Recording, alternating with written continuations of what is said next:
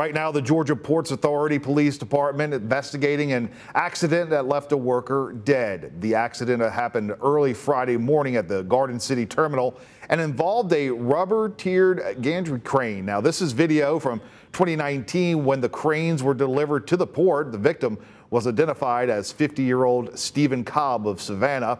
Cobb was a member of the International Longshoremen's Association Local 1475.